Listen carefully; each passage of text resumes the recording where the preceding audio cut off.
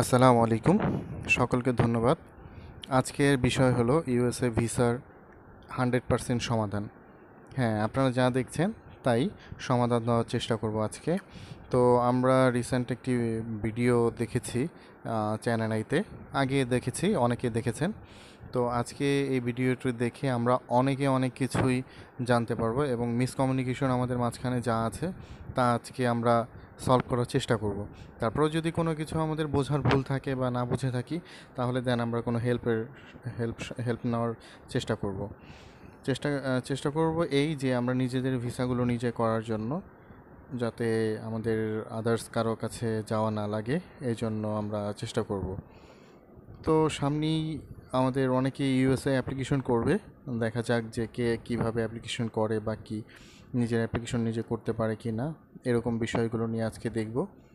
তো এই ভিডিওটি দেখার পরে আপনাদের হয়তোবা আর কারও কাছে যাওয়া লাগবে না, নিজের ভিসা নিজেই করতে পারবেন। যদি জাস্ট একটু হেল্প প্রয়োজন পড়ে, কারও কাছ থেকে ওই হেল্পটুকু নিয়ে নিতে পারবেন।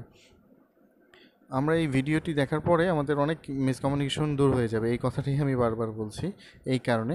কারণ এই কথাগুলো আমার না, এই কথাগুলো অ্যাম্বাসিতে যারা থাকে তাদের কথা।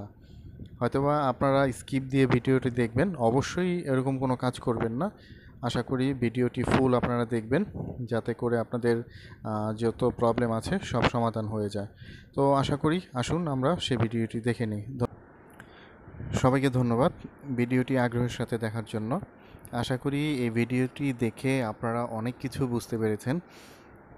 তারপরেও আমি এর বাইরেও কিছু কথা বলতে চাই। আপনাদের যদি লিগেল ওয়েতে লিগেল ডকুমেন্টস থাকে যে কোনো অ্যাম্বাসির ক্ষেত্রে, আপনারা ভিসা পাবেন হান্ড্রেড পারসেন্ট এটা হান্ড্রেড পারসেন্ট এই কারণে বলা। কারণ আপনি যখন অ্যাপ্লিকেশন করেন, তার তখন আপনার মনের মধ্যে একটা কাজ করে, খুশি খুশি বা আনন্দ কাজ করে যে আপনি হান্ড্রেড পারসেন্ট ভিসাটা পাবেন। আর যখন পান না, তখন আপনার হান্ড্রেড পারসেন্টই দুঃখ কাজ করে। তো কেন দুঃখ কাজ করে আর কেন খুশি কাজ করে? এই জিনিসটা এখন আপনাদের সাথে একটু শেয়ার করি। এই কারণে আমাদের খুশি কাজ করে যে আমি হান্ড্রেড পার্সেন্ট ডকুমেন্টস দিয়েছি। আমার কোনো গ্যাপ ছিল না, মিসকমিউনিকেশন ছিল না হ্যাঁ। এরপরও কিছু গ্যাপ থাকে, কারণ প্রপার ওয়েতে একটা মানুষের সব কিছু ডকুমেন্টস অনেক সময় থাকে না। আর যাতে থাকে না, তারাই কিন্তু বিপদে পড়েন। আর কিছু লোক থাকেন যারা কন্ট্রাক্টে চলে যান কন্ট্রাক্টে ভিসাগুলো করেন তাদের কন্ট্রাক্ট থাকে শুধু পাসপোর্ট দিবে আর কিছু দিবে না। তাদেরগুলো অনেক সময় হয় কি যে তারা বিভিন্ন রকমের প্রবলেম হয়ে যায়। ব্ল্যাকলিস্ট হয়ে যায় অ্যাম্বাসি থেকে ব্ল্যাকলিস্ট হয়ে যায় এবং পরবর্তীতে দেখা গেছে কোনো দিন সেই ইউএসএ ইউরোপ বা যে কোনো একটা দেশে, যে কোনো একটা কান্ট্রিতে তারা যেতে পারে না। তো এটা যেমন তাদের জন্য একটা প্রবলেম এবং তাদের ফ্যামিলির জন্য একটা প্রবলেম হয়ে দাঁড়ায়। কারণ একজন মানুষ যখন অ্যাপ্লিকেশন করে, এতগুলো টাকা খরচ করে, সে বিভিন্ন ধরনের স্বপ্ন দেখে। সে বিভিন্ন ধরনের স্বপ্ন দেখেই কিন্তু সে অ্যাপ্লিকেশনটা করে। তার স্বপ্ন হয়তোবা নিমেষে শেষ হয়ে যায়। তো যাই হোক, এটা যার যার ব্যক্তিগত ব্যাপার। আজকে আমি আলোচনা করব আরেকটু বিষয় নিয়ে। আপনাদের জন্য ভিডিওটা অনেক লম্বা হয়ে যাচ্ছে, কিছু করার নেই। কারণ এক ভিডিওর মধ্যে আমি চাচ্ছি ইউরো, ইউরোপ বা ইউএসএ একই কথা হলো। ইউরোপ, ইউএসএ একই ধরনের ইন্টারভিউ হবে বা একই ধরনের প্রোফাইল তৈরি হবে। ম্যাক্সিমামই একই ধরনের কিছু। তো এটা আলাদা করে বলার কিছু নাই। সব অ্যাম্বাসির ক্ষেত্রেই একই রকম। হয়তো বা কারও রিকোয়ারমেন্ট একটু বেশি, কারও রিকোয়ারমেন্ট একটু কম। তো অনেকে আমাদের প্রশ্ন করেছে এর মধ্যে, অনেকের প্রশ্নই আমি পেয়েছি যে, ভাই, আমার আমার পাসপোর্ট তিন মাস ছ মাস, এক বছর, আমি কেন পাচ্ছি না? তো কেন পাচ্ছেন না? এটার তো আমার কাছে কোনো অ্যান্সার নাই। আমি কী করে বলব? আমি তার অ্যাম্বাসিতে জব করি না বা ওরকম কিছু না। আমার কাছে এরকম কোনো অ্যান্সার নাই। জাস্ট আমি এতটুকুই বলব এটার অ্যান্সার যে আপনার ডকুমেন্টসে কোনো না কোনো গ্যাপ ছিল। এই একটা কাজ হতে পারে, কোনো না কোনো গ্যাপ ছিল। দ্বিতীয়ত হতে পারে অনেকে রেসিডেন্স পারমিটের জন্য অ্যাপ্লিকেশন করে অথবা ওইখানে ফ্যামিলির কেউ আছে, তারা যদি অ্যাপ্লিকেশন করে থাকে দেন আপনার অনেক লং টাইম একটা সময় লাগে। হ্যাঁ আপনার পাসপোর্ট পেয়ে যাবেন। এরকম আমি অনেক দেখেছি। এক বছর বা আঠেরো মাস পরও পাসপোর্ট তারা ভিসা পেয়েছে।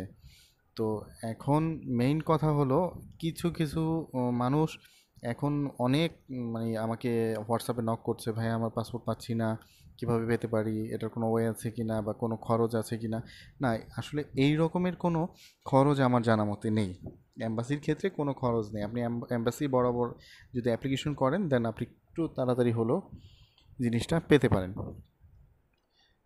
তারপরে ডকুমেন্টসের ব্যাপারে আলোচনা করব আজকে। আমি ইউএসএ অ্যাম্বাসিতে আজও পর্যন্ত শুনি নাই। কারও কাছে দেখতে চাইছে যে আপনার প্রপার্টি কী কী আছে এবং প্রপার্টি ডকুমেন্টস কী কী আছে। ইভেন আমি নিজেও যখন ইউএসএ অ্যাম্বাসিতে দাঁড়াই, তখন সে আমার পাসপোর্ট ছাড়া আর কিছুই তারা দেখতে চায়নি। এবং আমি কোনো ডকুমেন্টস সাথে নেইও নেই। কারণ আমি অনেকের মুখে শুনেছি, এইটা চাই, ওইটা চাই, এরকম ডকুমেন্টস ওরকম ডকুমেন্টস চাই। কিন্তু আমি বাস্তবে এরকম কোনো কিছুই দেখি নাই। এটা টোটালটা আপনার উপরে ডিপেন্ড করে। তাদের যদি কিছু প্রয়োজন পড়ে, আপনাকে সময় দিবে তারা। আপনারা কালেক্ট করবেন, আপনারা দিবেন, কারণ অনেক ডকুমেন্টস তারপরে সাথে নিয়ে যাবেন না। এরকমই অনেক অ্যাম্বাসি এরকম থাকবে। কিন্তু ইউরোপের ক্ষেত্রে আলাদা। ইউরোপের ক্ষেত্রে সম্পূর্ণ ডিফারেন্স যে এই কারণে যে আপনার পার্সোনাল প্রপার্টি কী কী আছে, এগুলো অনেক সময় নোটারাইজ করে নিয়ে যেতে হয়। ওটার ক্ষেত্রে আলাদা। ইউএসের ক্ষেত্রে কোনো জমি বা কোনো জায়গার কাগজপত্র আপনার লাগবে না। আর আরেকটু আসি এখানে। আপনার যদি দুটা বা তিনটা বা চারটা পাসপোর্ট থাকে, সবগুলো পাসপোর্ট আপনারা একসাথে অ্যাড করে দিবেন অ্যাম্বাসিতে তারা দেখলে হয়তো বা সেটাও একটা আপনার প্লাস পয়েন্ট হয়ে দাঁড়াবে। অ্যাড করে দিবেন। এবার আসি আরেকটা ইম্পর্টেন্ট একটা প্রশ্নে। অনেকেই আমাকে ইদানিং প্রশ্ন করছে, ভাই ব্যাঙ্ক স্টেটমেন্টের জন্য কেমন অ্যামাউন্ট লাগবে? আসলে ব্যাঙ্ক স্টেটমেন্টের জন্য কীরকম অ্যামাউন্ট লাগবে এটা তো আমি বলতে পারি না। আপনি একজন ট্যুরিস্ট যাচ্ছেন ইউরোপ বা ইউরোপ বা ইউএসএ বা ইউকেতে যাচ্ছেন, আপনার তো মিনিমাম একদিনের খরচ বাবদ পাঁচশো ডলার পাঁচশো ডলার মেবি বিয়াল্লিশ, তেতাল্লিশ, এখন চৌচল্লিশ হাজার টাকা। এই চৌচল্লিশ হাজার টাকা পাঁচশো ডলার মে একটা পাঁচশো ডলার আপনি দুদিন থাকতে গেলে বা তিন দিন থাকতে গেলে পাঁচশো ডলার লাগবে। এরকম আপনি মিনিমাম তো এক সপ্তাহ থাকবেন। সেক্ষেত্রে আপনি দুই হাজার বা চার হাজার বা পাঁচ হাজার ডলার আপনাকে নিয়ে যেতে হবে এরকম। আর ব্যাঙ্ক স্টেটমেন্টের ক্ষেত্রে আপনাকে মিনিমাম দশ লাখ টাকার উপরে দেখাতে হবে। মিনিমাম এরকম না যে আজকে রাখলাম, কালকে উঠিয়ে ফেললাম, এরকম না। আপনি মিনিমাম এক বছর ওই লেনদেনটাকে আপনার করতে হবে। ইভেন আপনার ইউএসএ অ্যাম্বাসিতে কিন্তু কোনো স্টেটমেন্ট চাইবে না। চায় নাই। যদি আপনার ভাগ্য খারাপ হয়ে থাকে, সেক্ষেত্রে আপনার কাছে ইউএসএ অ্যাম্বাসি স্টেটমেন্ট চাইবে। এরকম কিছুই হয়ে থাকে সাধারণত। আর ইউরোপের ক্ষেত্রে আপনাকে দশ লাখ টাকা ব্যাংকে, দশ থেকে পনেরো লাখ টাকা ব্যাংকে দেখাতে হবে। অবশ্যই সেটা সেভিংস না। যদি বিজনেসম্যান হন, অবশ্যই সেটা কারেন্ট অ্যাকাউন্ট এবং কোম্পানি নামে থাকতে হবে। সেভিংসে আপনি দশ লাখ টাকা রেখে দেখাতে পারবেন না। এটা বাংলাদেশ ব্যাংকেরও কোনো রুলস নেই এবং আপনি এক বছর এই টাকাটা রেখে দেখাতে পারবেন না। যাই হোক, ওটা একটা ব্যাংকের একটা রুলসের আলাদা একটা বিষয় দাঁড়া, দাঁড়িয়ে যাচ্ছে। এবং আপনি ইয়ারলি দুই তিন কোটি টাকা ট্রানজেকশন হ্যাঁ আপনি আজকে জমা দেন, কালকে উঠান, এরকমও হতে পারে। দেন আপনি দশ লাখ জমা দিয়ে দশ লাখ উঠাবেন, এরকম কিছু না কিন্তু হ্যাঁ। আজকে দশ লাখ জমা দিলেন, কালকে পাঁচ লাখ উঠালেন বা সাত লাখ উঠালেন, আবার পরের দিন জমা দিলেন। তাহলে আপনাকে বিজনেসম্যান বলে ভাববে তারা। আর স্যালারির ক্ষেত্রে তো নির্দিষ্ট একটা অ্যামাউন্ট থাকে তাদের ব্যাংকে এই ছিল আজকের ভিডিওটা তো সরি সরি অ্যাগেন যে ভিডিওটা অনেক লম্বা হয়ে গেছে। তো আমি আপনাদের কাছে মাপ চেয়ে নিচ্ছি ভিডিওটি বড় হওয়ার জন্য। তো অনেকের ভালো লাগবে, অনেকের ভালো লাগবে না। যদি কোনো প্রশ্ন থাকে, আপনারা আমাদের কাছে করতে পারেন। আমি নির্দ্বিধায় অ্যান্সার দেওয়ার চেষ্টা করব। কথা ছিল আজকে একটি ভিডিও দিব। তো আমি এটা ব্লক টু হিসাবে দিচ্ছি না। এটা আমি ইউএসএ হান্ড্রেড পার্সেন্ট ভিসা হিসেবে দিচ্ছি। আশা করি আপনাদের সকল সমস্যার সমাধান এই ভিডিওটির মাধ্যমে হয়ে যাবে। তারপরে যদি কোনো কোশ্চেন থাকে, আমার সাথে কমিউনিকেশন করেন, আমি হেল্প করার চেষ্টা করব। ধন্যবাদ সবাইকে। যারা সাবস্ক্রাইব না করেছেন এখনও সাবস্ক্রাইব করুন। ধন্যবাদ। আসসালামু আলাইকুম। ভালো থাকবেন।